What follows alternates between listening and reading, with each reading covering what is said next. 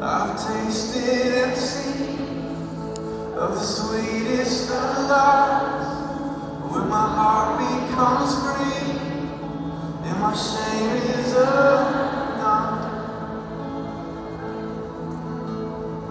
Your